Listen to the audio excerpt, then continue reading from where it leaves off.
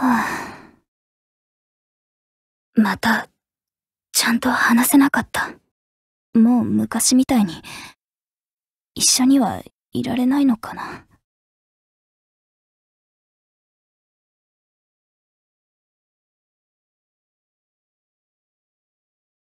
はい。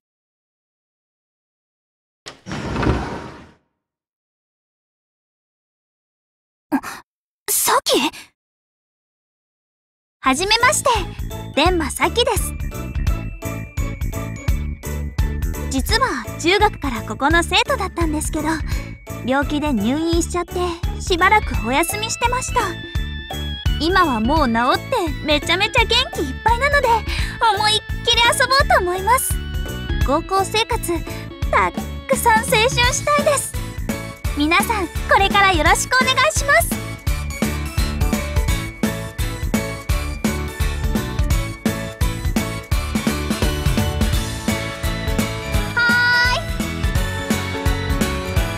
星野さんはじめまして。今日からよろしくお願いします。さき戻ってくるって分かってたなら連絡してよ。ごめんごめん。みんなのこと驚かせたくってさ。もうびっくりするじゃん。でも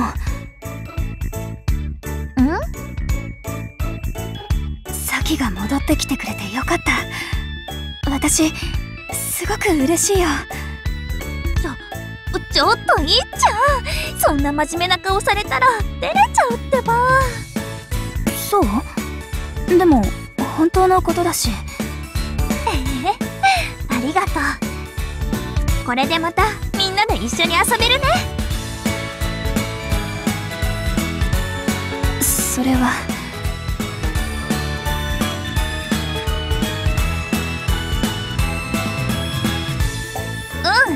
私といっちゃん小学校からの幼なじみなんだ。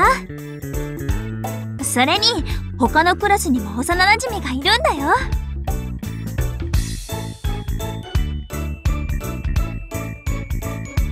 うん。ほなみと志保。あ B 組の望月さんと A 組の日の森さん。いつも4人で遊んでたんだ。でも中学の時に私が入院して遠くの病院に行っちゃって。だから今みんなと一緒の学校に戻れてすごく嬉しいの。